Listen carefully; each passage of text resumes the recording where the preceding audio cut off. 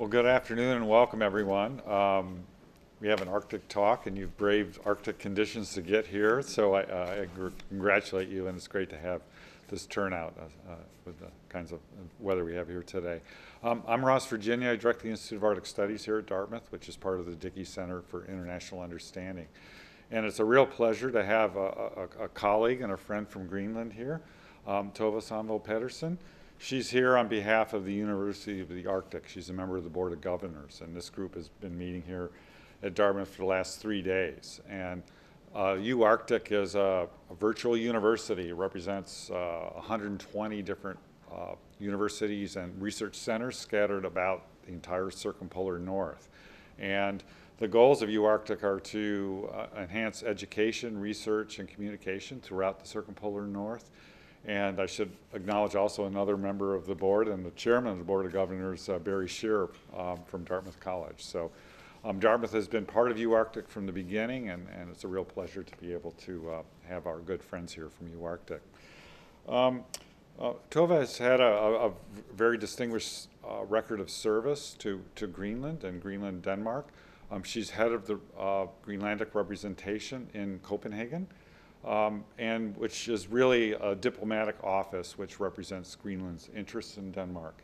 And they have a lot of different functions. One very important one is actually to be a public interface um, to exchange information about Greenland's interests to people in Europe and um, also to represent uh, Greenlandic students who are studying in, in, Denmark and a whole host of other um, uh, of interests. So she is it's very similar to an embassy office. They have many of those same functions, and she's she's heading that operation. Um, she's also uh, been active with the University of the Arctic, and prior to that, she was on the board and chair of the board for the University of Greenland, Ilisimatusarfik. Um, those of our students here that go to Greenland are graciously hosted by faculty there, and we, we have a strong uh, relationship with the University of Greenland. So um, that's a very special part of, of what we do when we go there. Um, so she's, she's long been active then in educational issues. Um, she, her training is in uh, literature, English language and literature, and then her graduate work is in social and political sciences. And, as I, and you can see that leading her into her interests in, in, in politics and in government issues. Um, she's, prior to that, she was um, um, executive secretary for the Indigenous Peoples Secretariat, which is part of the Arctic Council. And she's also represented Greenland on indigenous issues in the Euro European uh, Commission.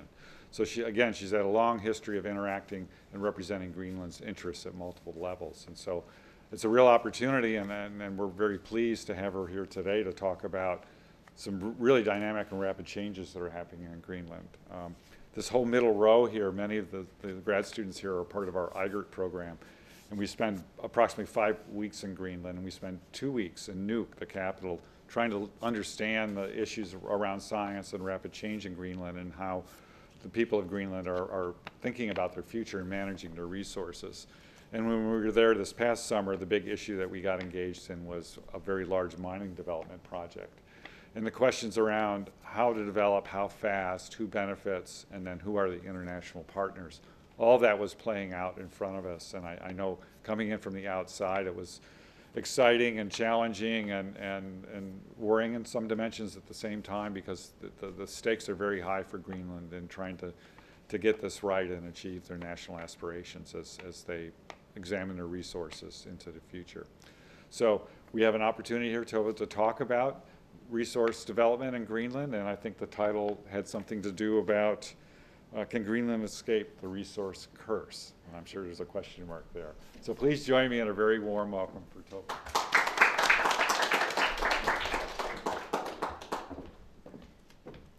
Thank you very much, Rush. And also thanks to uh, Barry Scherr for, as the chairman of the Board of Governors for UArctic. Can you hear me when I stand like this?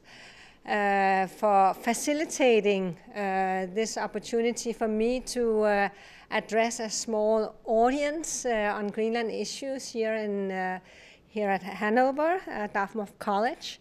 Uh, the, the simple idea behind me standing here today was, I mean, well, I mean, while as I traveled this far, I might as well make myself useful to the people who are there uh, to learn a little bo- uh, a bit more about Greenland and also to you know, discuss, engage with you on, on some of the most uh, important uh, issues that, uh, we, that are being debated currently in Greenland.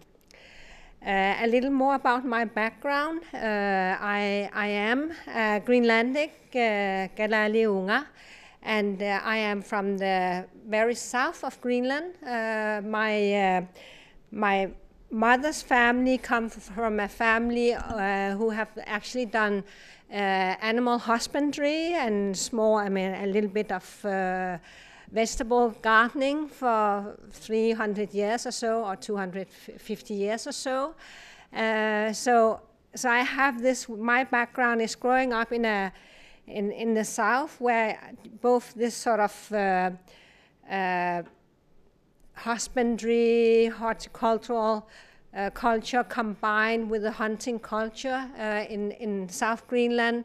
It's uh, hunting uh, for seals has always been very important, and also during the summer where it's uh, where the pack ice more or less packs up the southern uh, most shores of, of Greenland.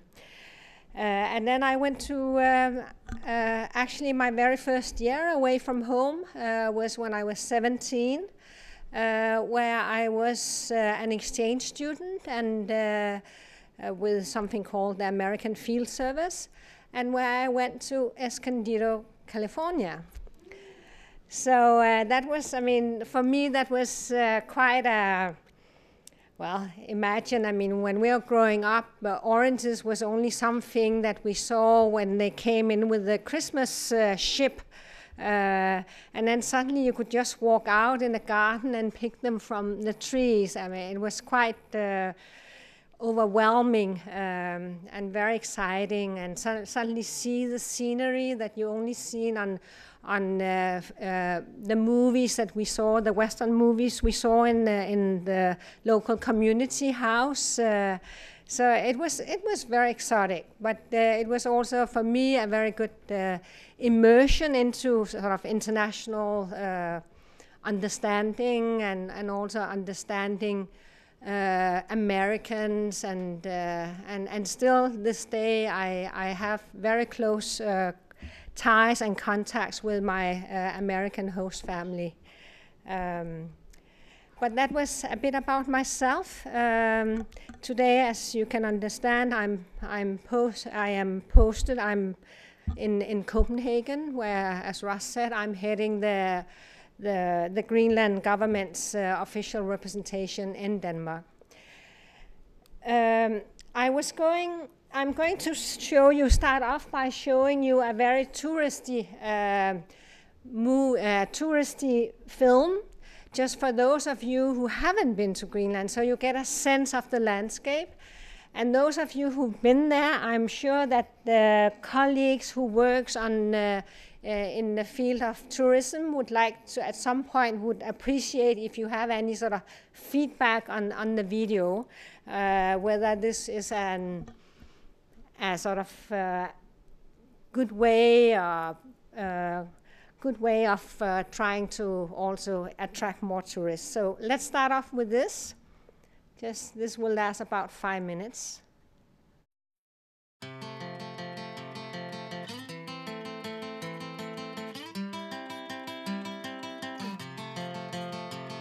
Det går så inuna berusciutat atokkusho Nikin yaravi inuna ishavit riman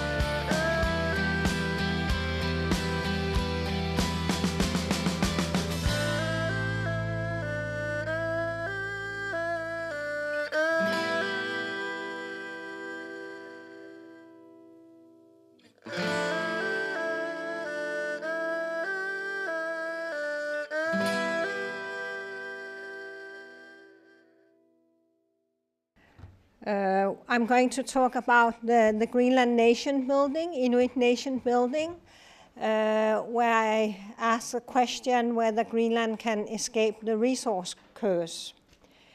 Uh, to start with, uh, then of course one could ask, uh, why has this question suddenly become uh, relevant? Uh, and and and there are three things there where I would like that I would like to point to. Um, one is that the, that Greenland simply need to expand its resource base. As it is today, uh, Greenland's uh, uh, uh, uh, cross, uh, cross national uh, product is way lower than uh, what, what, what we find in the USA and in, and in Denmark. Plus, we are, the Greenland government is very much dependent uh, on an annu- annual block grant from Denmark of about uh, 360,000 US dollars. Um, and which makes up then uh, about uh, somewhere between uh, 50 and 55 percent of the Greenland government's expenditure. On top of that, then uh, we have an aging population. It's really positive that uh, our that our yeah that the elder uh, people are, are, you know actually getting becoming healthier and have living longer but it also means that uh, that we have i mean we have to somehow uh, ensure their pensions. And then our only real income base as it is is actually um, fisheries.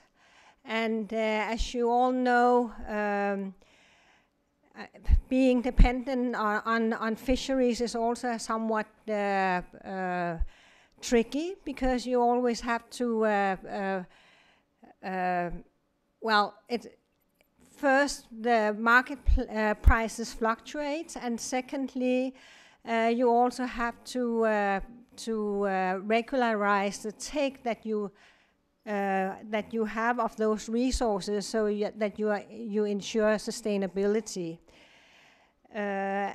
and then we also another problem, which also is that uh, we are a very small population, 56,450,000 people scattered in an enormous uh, area, something like um, uh, 80, around 80 settled areas where there is no infrastructure in between them. And so just imagine the, the cost of social uh, delivery services for such a, a scattered population. Uh, so we simply, we, we do need to expand uh, our resource base. Um, just here you can see, I mean, our export, how much we rely on, on the fisheries, whereof the shrimps are the most important. Um, the other thing is also that the, the second thing that I want to point to is as part of our aspiration for, for self determination as a, as a nation, as a people, uh, the Greenland Inuit, we uh, expanded the, the autonomy agreement that we had uh, from 1979, with what, uh, which we call, was called Home Rule, into something that was called uh, self government in, uh, in 2009. And what self government uh, meant, uh, the most important thing is that the, that the act uh, of self government um, affirmed that the people of Greenland have the right of self determination in accordance with international law.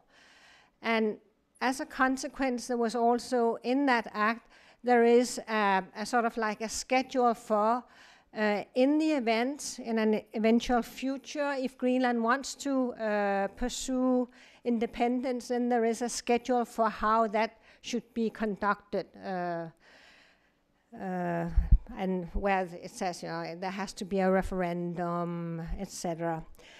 And uh, and secondly, uh, what this law, what this act on self-government also meant was a new uh, economic arrangement between Denmark and Greenland. Uh, bottom line here is that the annual grants that we receive so far um, will would be sort of frozen.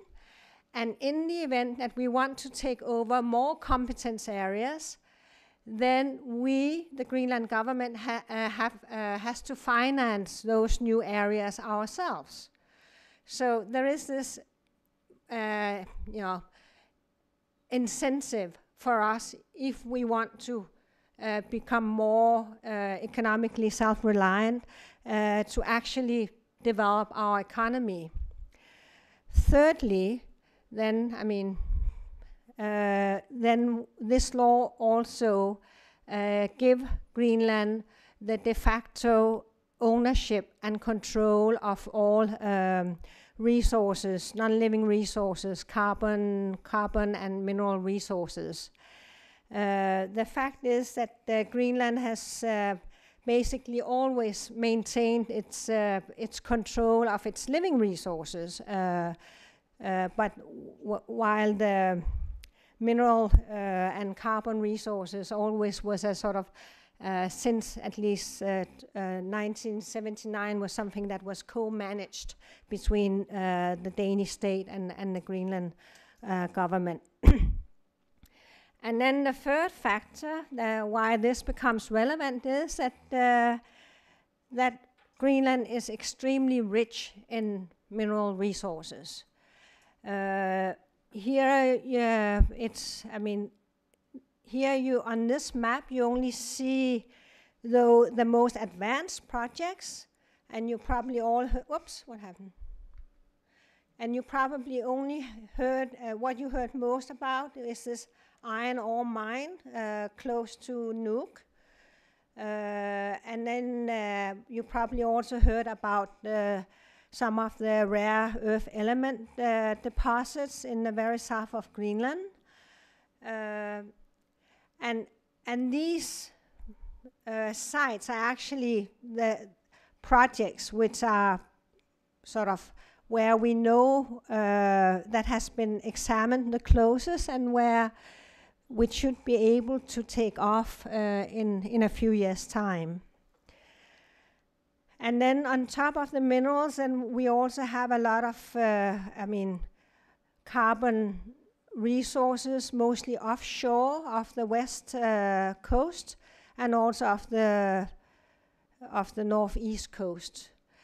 I think uh, the U.S. Geological Survey has actually made an estimate of uh, of uh, what potentials lie off the shores of the Greenland coast.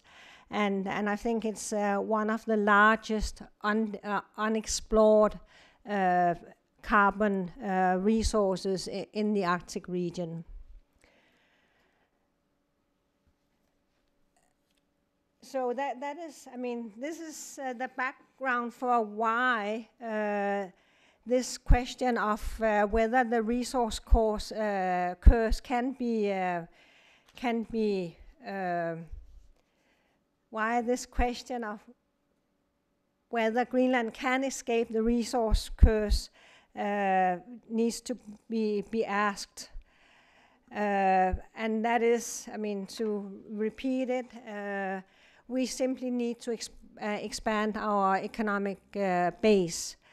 Uh, we also do it, we also uh, lean on other. Of course, we'll continue also to uh, pursue a strategy of sustainable fisheries, and we also try to expand our tourism. Uh, and then we also try to uh, develop a leaner administration, a, a leaner public administration and, and, and infrastructure. But we are, I mean, we, we, we really need the potentials that lies in the, in the mineral uh, sector. And then let me just, uh, let me just uh, define or, or remind ourselves what is usually thought of when we think of the resource curse. First, uh, we usually it's usually tied with the fact that the economy goes more or less bankrupt. Uh, in some countries, it's uh, it was it's called the Dutch disease because the, uh, in Netherlands, after they discovered the gas in the in the North uh, Sea, then suddenly this uh, gas industry created an enormous inflation and which actually killed all other uh, sectors and businesses of, of the Dutch economy. Um, and then there is also an issue related to the volatility of, of revenues from, from the raw materials that you sell. Uh, I mean, it's, you know, as you all know, oil, pri- oil prices, oil and gas prices goes up and down, gold, mineral prices. I mean, you are you cannot control those uh, uh, those prices uh, uh, and how the world market prices develop. Um, and the third thing is uh, simple government mismanagement, corruption, that a corrupt elite takes control and uh, put all the revenue in their own pockets and uh, at the expense of the welfare of the broader population.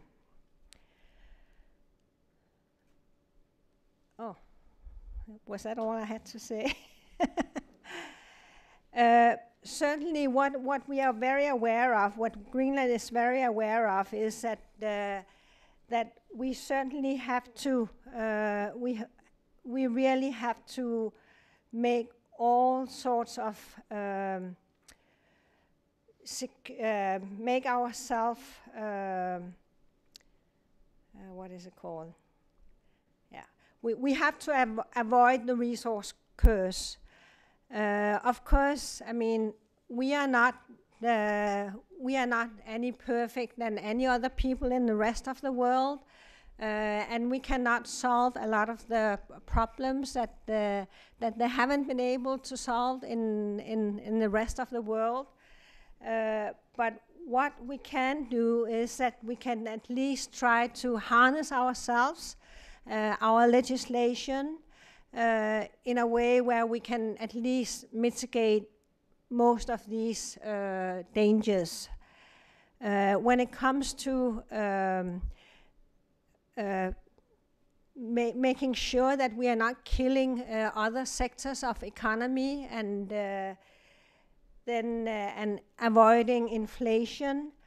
Then we have to remember one thing is that we have um, this economic arrangement that we have new economic arrangement that we have with Denmark is that for all revenues that comes from the mineral oil and gas sector then the first uh, one, uh, what, how much? Uh, 75 million Danish kroner in revenue that we get per year will go to our own purse, to the Greenland purse. But what is above that in revenue per year is split in two parts, and where then uh, one part goes towards compensating the annual block grant that we are already receiving from Denmark. So, so there is no, no likelihood of any fast uh, gain or revenue uh, for, for many years still. Um, secondly, what we have also done immediately after the introduction of, uh, of self government, uh, we established by law a, um, a resource fund uh, I don't know whether any of you have heard about the, the Norwegian Oil Fund. Actually, it's, uh, it's, we more or less emulated the, the Norwegian Oil Fund so that we will be able to, when that day comes, and hopefully when that day comes, that we can divert as much of the revenue into this resource fund so it doesn't uh, yeah, go in and sort of heat up uh, the Greenland economy or, or raise the expectation too much in the general population that we can just spend the money just because we have them, but that we should rather uh, save them for, for poorer times and, and for the future. the second thing about the volat- uh, vola- volatility on uh, uh, of revenues is that uh, the now uh, descending government, uh, we just had elections, general elections to our parliament uh, last week.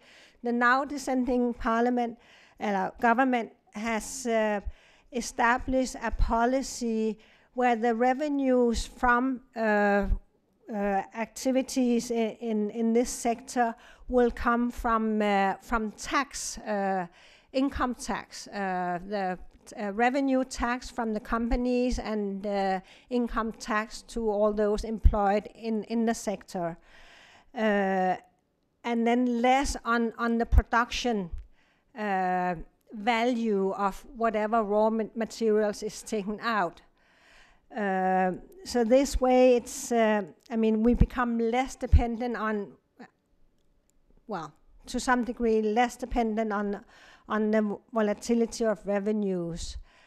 Um, but of course, um, one of the dangers of having uh, of having uh, established this form of uh, um, of taxation of the revenues of, of companies is many of these companies will be multinational companies and uh, and you he- all heard about the the issues related to transfer pricing.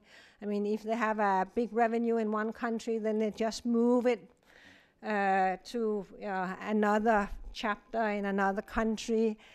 Uh, and of course i mean if people if companies really want to cheat there is no way uh, that that that we can um be completely uh, yeah sure that they will not cheat us but at least what we have is that we have these uh, uh, cooperation and agreements on uh, on tax evasion with several of these uh, together with many as all the Nordic countries.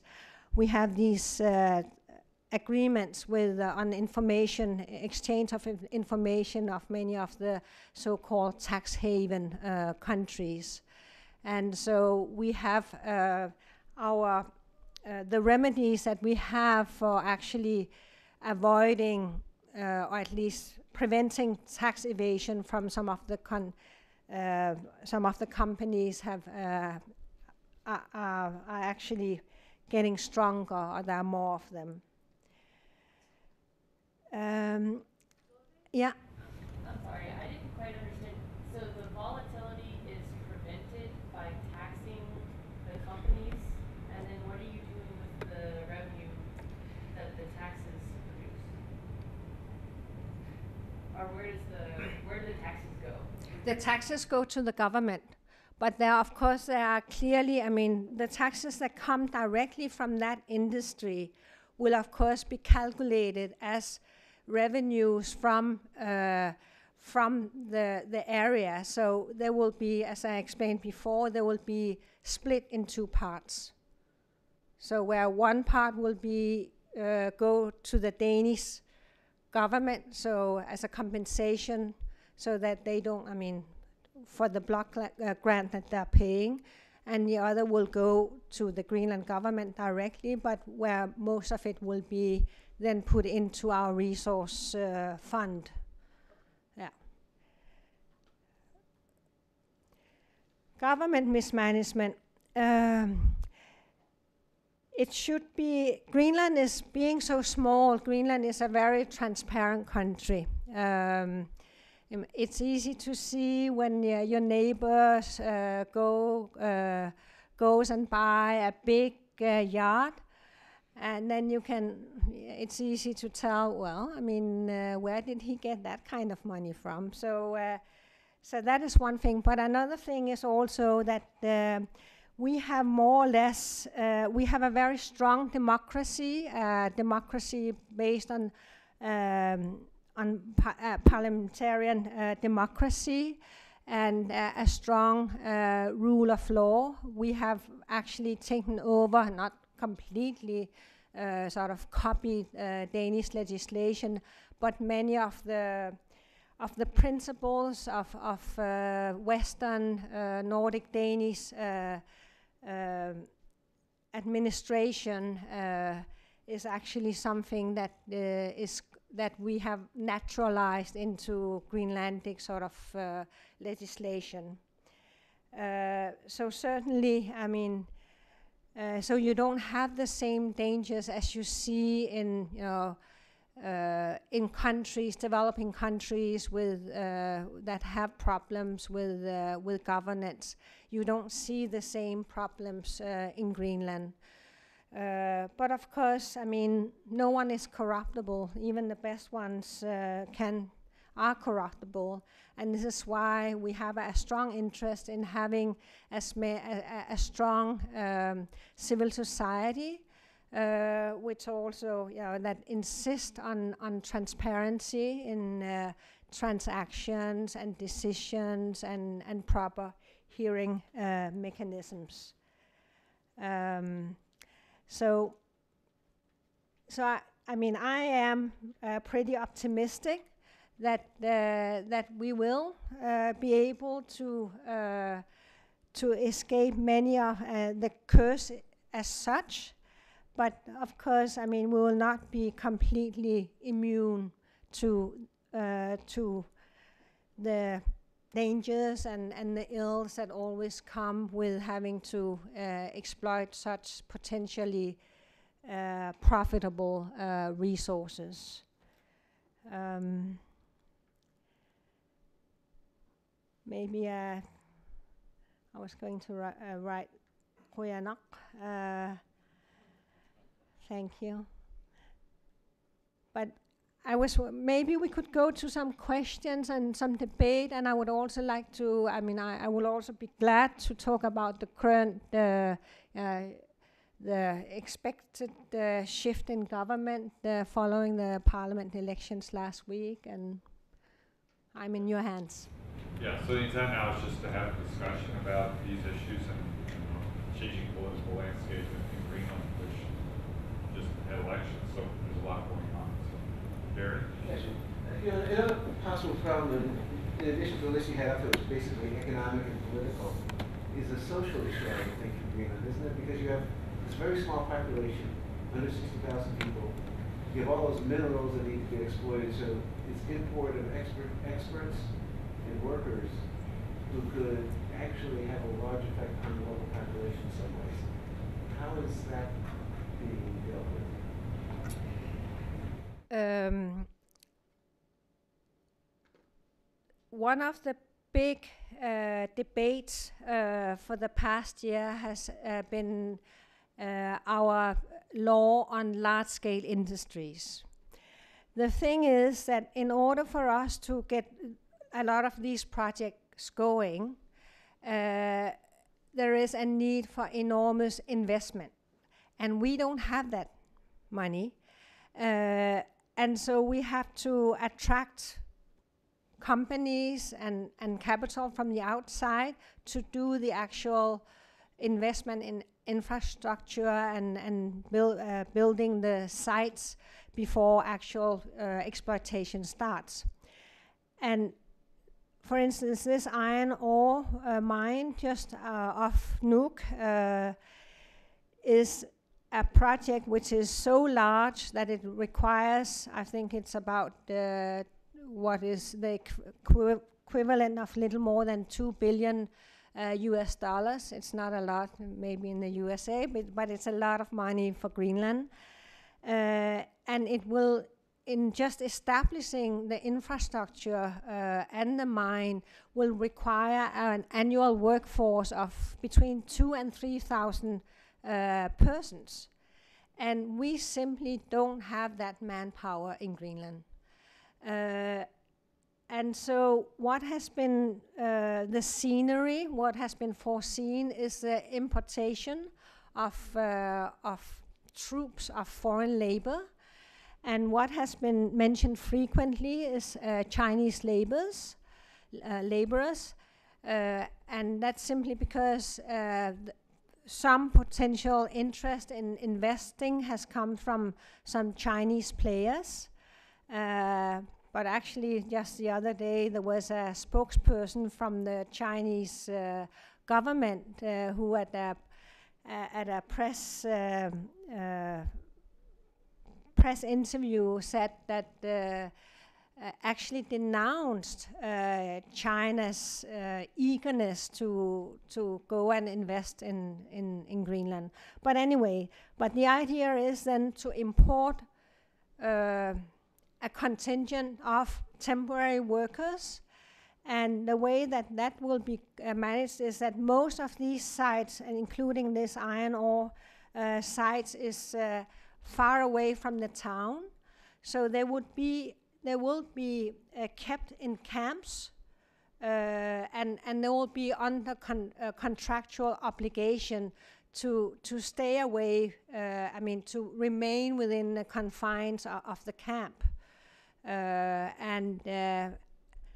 Uh, and so it, it should be it should be possible to control, but of course there will also be some Greenlandic workers, uh, two three thousand Greenlandic workers, who then of course engage with the Chinese laborers. But um, but I think it will be. I mean the psychological environment will probably be pretty much like the what is going on right now at um, Thule uh, Air Base, the American Air Base where you have you know civilian Greenlanders, uh, Greenlandic laborers, also sort of within the confines of a camp, uh, engaging with workers from uh, the U.S. and, and from from Denmark, uh, and where they spent uh, day and night uh, for several weeks within the confines of a camp.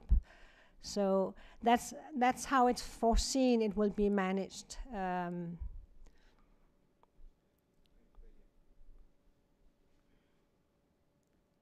I'm interested in um, how language factors into the transparency issue, and since it is a multilingual um, country, and then with not only within Greenland but internationally. Yeah, uh, certainly a lot of the documentation uh, that is related uh, is is in English, uh, and and so that represents a barrier for the sort of more or uh, broader audience in, in in Greenland because most Greenland, the majority part of Greenlanders, I mean, they Greenlandic is their mother tongue. Um, they might know some Danish, but definitely it's only a minority who who actually ha- speaks and reads English well enough to actually understand these materials. But this is also where it's very important to rely on a strong civil society, which actually can sort of uh, uh, translate and, and broker that uh, that uh, that information uh, in a way so the general audience will understand it. Um, but of course, langu- language is an issue, and it will be an issue. But I guess that's, of course, in, in a country like Greenland, it's it's an extra uh, sort of barrier. But I mean, how many of you Americans, even though you are well educated, understand a lot of the documentation between in that I mean that is underlying the whole uranium industry, just to take an example.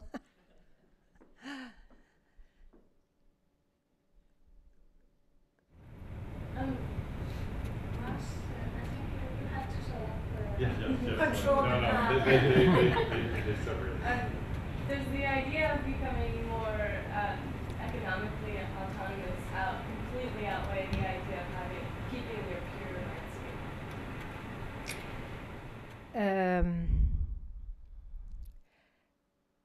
we have this aspiration of becoming an yeah a self-determining independent uh, nation and and independence can mean a lot of things. I mean, you can always think of. I mean, it, can be independence in a traditional sense, where we have our completely independent own state, but it can also still be within the within Danish realm, still part of the kingdom, or it can be like. Uh, uh, in free association with Denmark, uh, like Cook Islands with Australia. I mean, you can foresee a lot of you know arrangements, uh, but what what is very important uh, for for for us Greenlanders is a sense of of actually being able to uh, earn your own money to provide for yourself financially.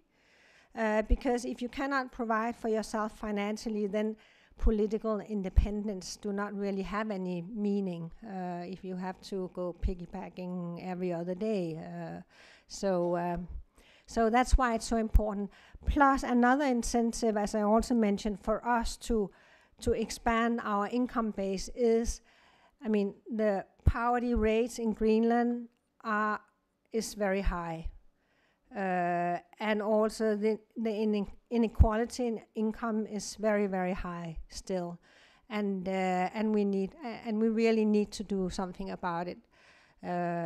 Uh, plus, our need for investment uh, in the area of education is also enormous. I mean, it's something like only 40 45 percent of uh, kids leaving secondary education uh, continue uh, pursuing uh, further education. So we really have to, you know, kick those figures up. So at least now we have the ambition that at least 70% of kids leaving secondary education should continue.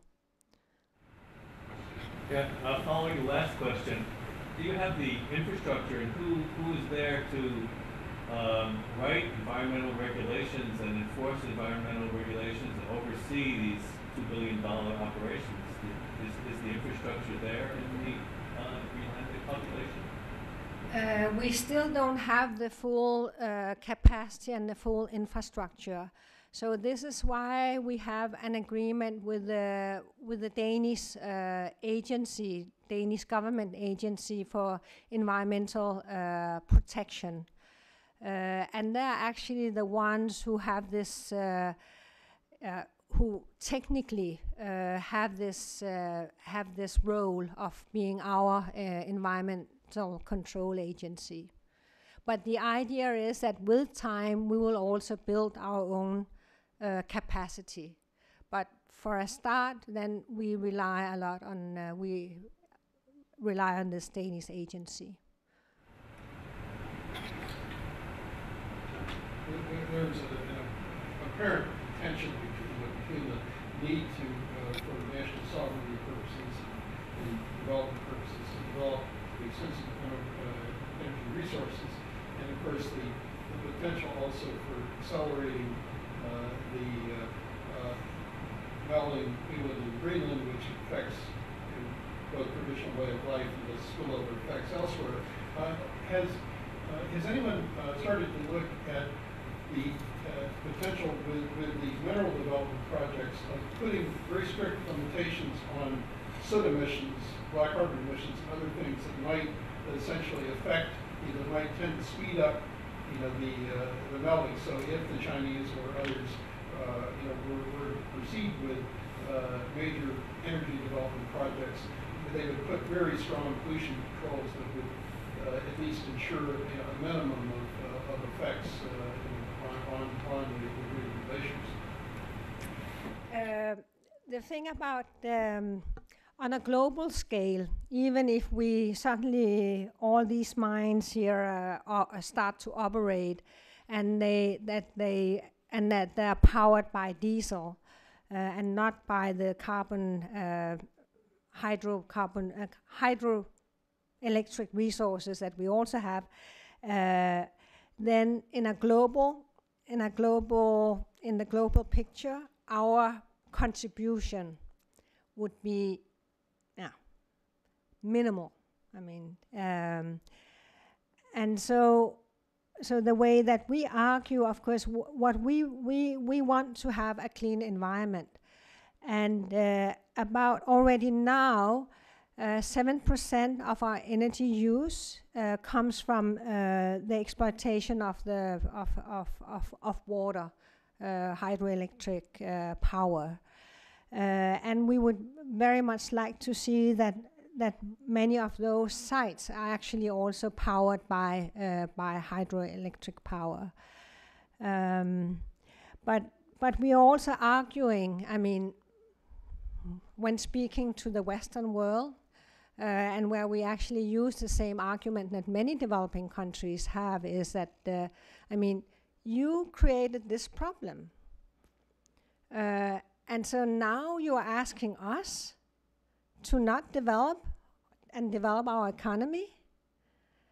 Uh, so, I, so I think uh, what is important for us is to participate in international cooperation and uh, together with Denmark to actually do something about the global carbon emissions. Um, because what we what we do does not really it's so tiny does not really make the, a difference.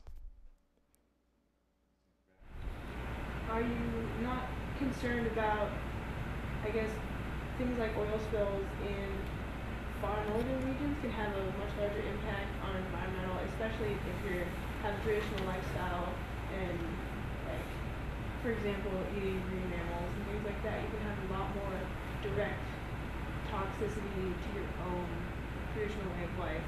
Is that not a concern, I guess? It's an enormous concern. Uh, and this is also why we, uh, we are applying uh, the strictest uh, standards uh, for, yeah, for environmental uh, safety. and, and there are a lot of things that, I mean, we are actually leaning a lot about on the expertise of the Norwegians who has and we have an agreement with the Norwegian government because they have experience both from the North Sea but also from the Barents Sea of, uh, of uh, offshore uh, exploitation uh, in, in, in cold in Arctic waters. Uh, but but yeah, we are we, we are of course very uh, concerned. But but I mean it's life is never safe, huh? I mean, uh, what I mean, I always think of this picture of this very holy, uh, these this very holy Hindu castes in uh, in um, in India.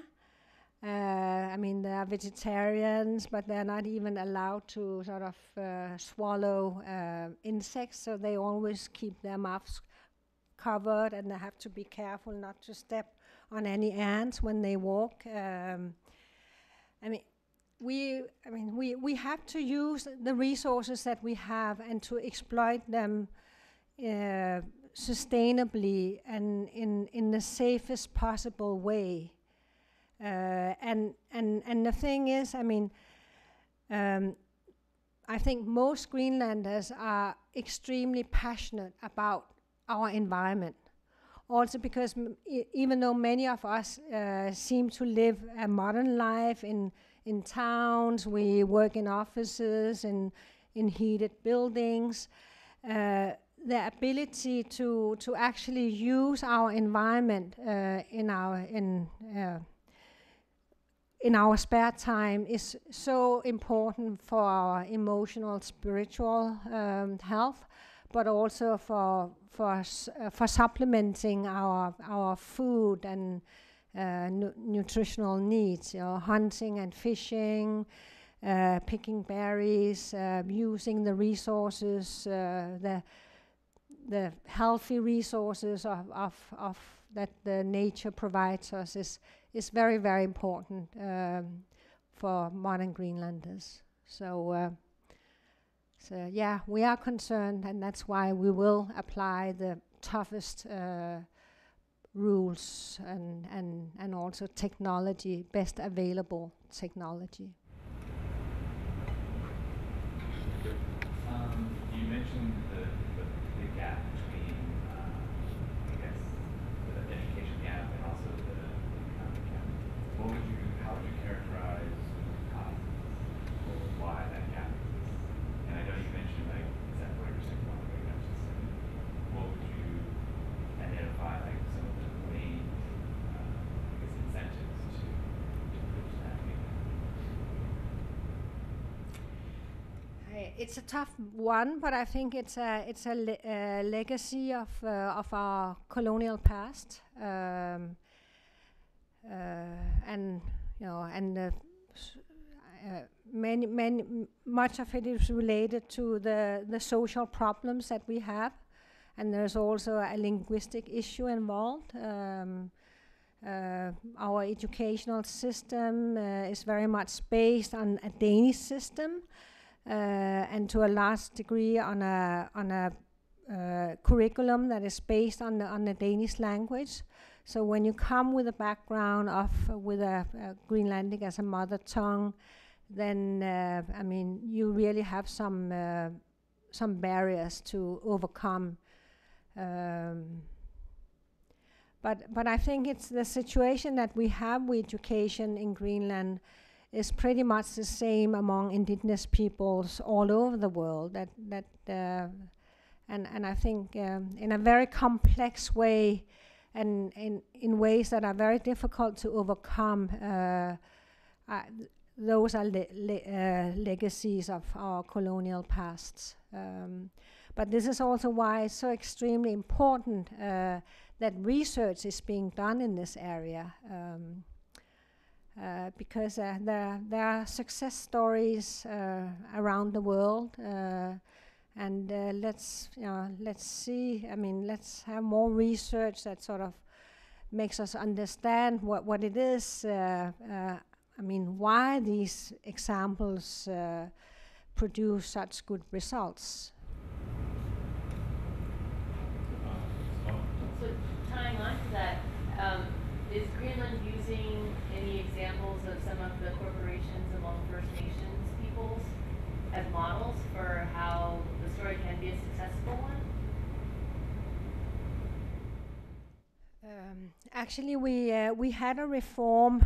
Um, we had a ed- education reform uh, which uh, was la- launched in 2002, uh, and that one was very much um, inspired by. Uh, uh, I don't remember what the school uh, is called, but it's at Berkeley University. It's something developed at Berkeley University where they built on the experiences of teaching. Um, um, American natives uh, and also inner city sort of uh, yeah disadvantaged kids.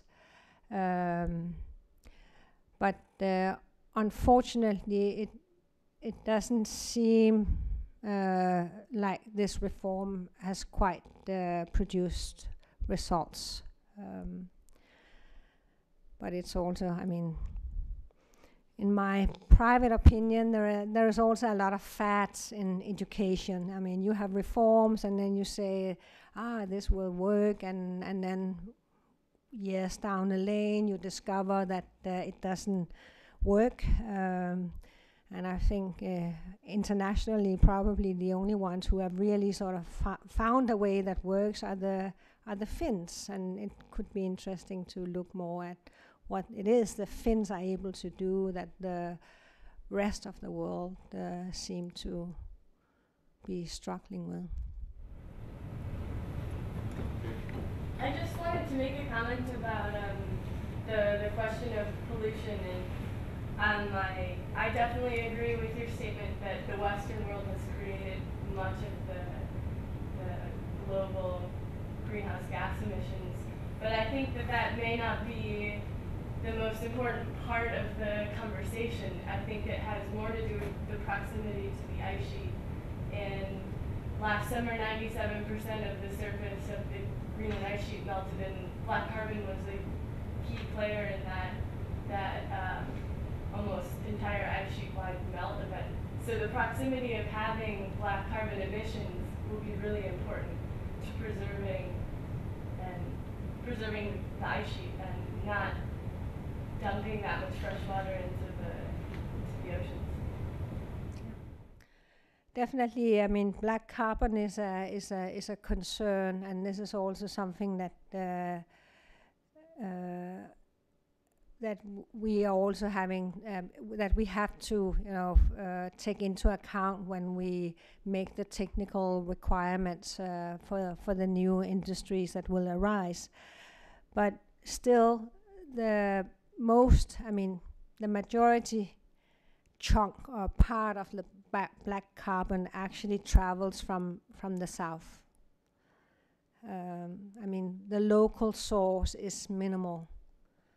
So, uh, so if we, I mean, black, if we have to avoid black carbon, then we actually have to work on it on a global scale.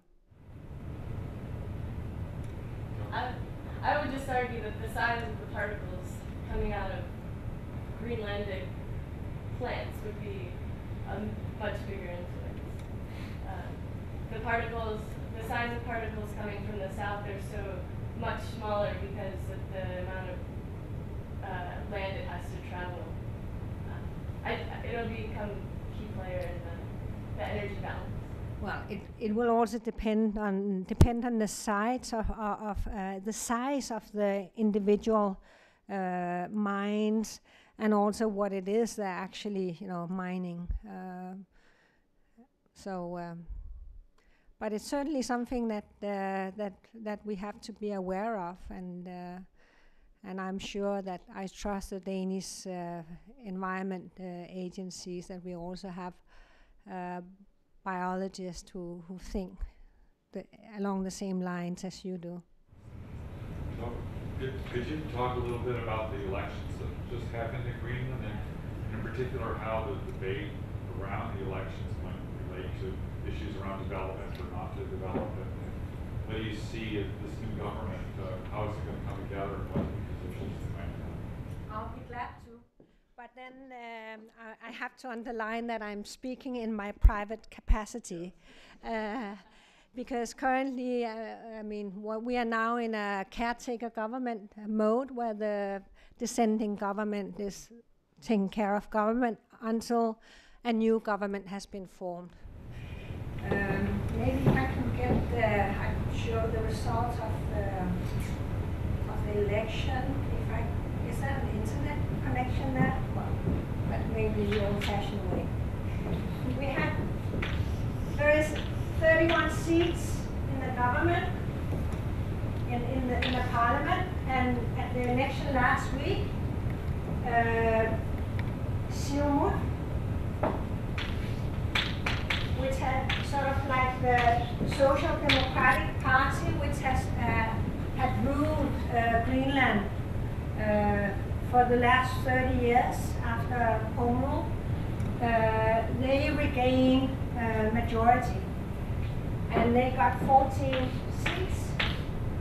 And Inuit Ataqatigiit, IA for short, which actually won the previous election, the first election that we had at, uh, when uh, self-government was introduced in 2002, slided back from 14 seats to 11 seats.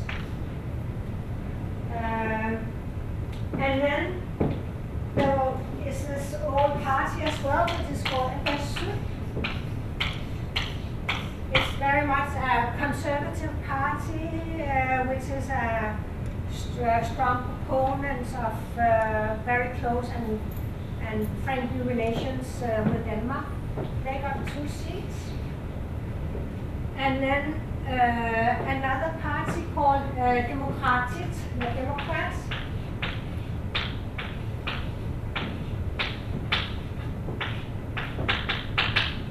which had formed a coalition together with the Inuit in the now descending government. They are sort of like a social liberal party. Uh, they got two seats. And then there was this new, new party called the Inuit Party. Parti Inuit. They got two seats. Uh, so now, um, and the leader of Siumut, the new leader is a woman. So uh, the new premier of the new government will, for the first time in the history of Greenland, be a woman. Uh, she can more or less have it any way she likes it. Um, what? First, let me mention Parti Inuit. Parti Inuit is more or less a protest party. Uh, they are very much focusing on uh, sort of the national values, Inuit values, and their argument is that the last four, uh, four years uh, government uh, were focusing too much on economic development that more benefited those who are well-to-do anyway, and uh, and it was a development that became more and more Danish and less and less Greenlandic. Uh, and, uh, and as an example, normally uh, political campaigns, uh, campaign meetings in Greenland are bilingual, and they refuse to take place, to take part in those meetings where Danish was language. So they're more or less a protest party. Um, and then in the party, uh, they were, were in this very broad coalition, the Inuit Ataqatigiit, and they actually lo lost uh, one, one seat. And soon, the Conservative Party also lost uh, one seat. Um, and the issue is that what is really surprising is why did, did, this coalition led by Inuit Ataqatigiit uh, lose? My, my theory is, and I know that uh, many of my colleagues agree with me, is that they started the, the expectations uh, that people had to them um, were very, very high. Uh, and then they had this methods of uh, building their policies upon uh, you know, facts, evidence, thorough analysis. Uh, so, uh, so they were not, and, and they had several commissions working, commission on welfare and tax, a commission on fisheries, a commission on infrastructure, uh, where they had uh, expert commissions, where they had experts coming up with, you know, first they worked for two years and analyzing the subject uh, area, and then they came up with the recommendations, and then, and then, and only then was this dissenting government able to take legislative initiative. And so, so they were perceived as being very technocratic, uh, being too slow, were not able to produce results fast enough. Uh, and plus also uh, that they favored uh, Danes more than the Greenlanders. And here the, uh, the explanation is that um, the Greenland government, uh, also a, leg a, legacy of our colonial past, has a number of public, uh, publicly government-owned companies, like our big fisheries export company, Royal Greenland, uh, our national uh, airline, Air Greenland, uh, the supply uh, companies, electricity companies, uh, all these companies, public works, um, all these companies are they're actually formed as as corporations, and their boards before this dissenting government came into power, when Siumut was in power, the boards of those companies were politically uh, appointees. Uh, and what the dissenting government did when they came into power was to replace all these political appointees with professionals. People who knew about international marketing, when it, people who knew about uh, fish processing, people who knew about international uh, aviation, know. And the result was that, yes, they had to draw on a lot of things. And so from a Greenlandic perspective, it looks it looked as if they were favoring Danes over Greenlanders. in, in their sort of efforts to professionalize the, the governance of these public uh, companies. So, so I think, uh, I mean, that is, that is why I think they lost. And then this party Siumut was very, was very intelligent and very good at sort of capitalizing on, on the, on the, yeah, on the sort of more populistic, nationalistic uh, sort of uh, sentiments and, and the discontent. Um, and I think that is uh, that is what I mean. So it's it's it's a it's a reaction, I think. Where do you see a coalition being formed to uh, proceed to be, be able to govern? Where, who are they looking to for allies? Uh, there are three three big issues uh, that they're discussing. Uh, that what has been very much against is this uh, legislation law on large-scale industries that I mentioned earlier, where they would like to tighten up some of the paragraphs in, in that act uh, that is related to the conditions of, of the Greenland, Greenlandic labors. Uh, and then there is the issue of uh, lifting the zero tol tolerance of uh, exploitation of radioactive raw materials. Uh, in South Greenland, um, we have one of those uh, rare earth elements uh, deposits, the one in, with, uh, in Kvanefjeld, uh, is actually uranium. Uranium and thorium. And we have an old policy from the 80s saying that we don't want to, uh, that we prohibit the mine, mining of uranium. And so we have as what we call a zero tolerance for ra radioactive uh, raw materials. And Siumut wants to lift that. I mean, they want to adjust that tolerance level. Um, and these also want to, they, they will agree to,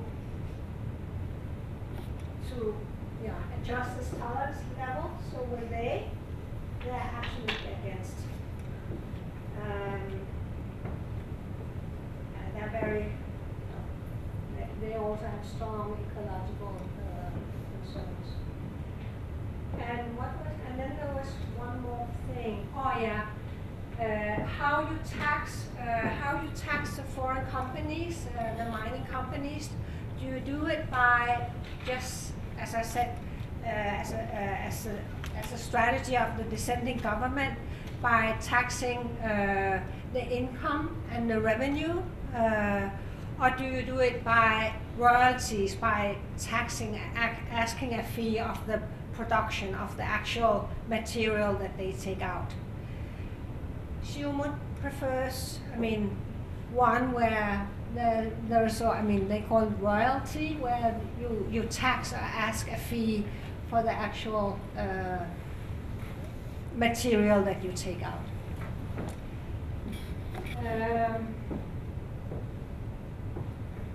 so those are the big issues. But I know the ladies I heard, they're out. Um, and so they have gone into a second round of negotiations. And the latest that I heard is that those two are negotiating now uh, on, on the basis of uh, drafting papers, papers together. Uh, so it's, it's still, I mean, it's still a possibility that uh, that that Siumut and IA would be able to uh, cooperate. And I think uh, most, I mean, the business community in Greenland, actually the majority uh, of the people in Greenland actually recommended, recommending in order to ensure stability for the years ahead and know, the credibility of Greenland. I mean, that they should, yeah. And they can actually, I mean, they can compromise, uh, they can compromise by just making uh, symbolic changes so, so that she will not lose face. For instance, when you, when you talk about the, the zero tolerance for, for, for radioactive mining, that tolerance level is, has actually been set quite arbitrary. You can still sort of adjust it a little bit and still not, you know, open up for uranium mining. So, so there's, I mean, there's always a lot of compromises that can be struck in, in uh, politics when there is a war. But it's exciting days. I mean, just, uh, I think all of us are checking uh, the news every other half hour. Well, I'd, I'd like to thank you on behalf of all of us for an excellent.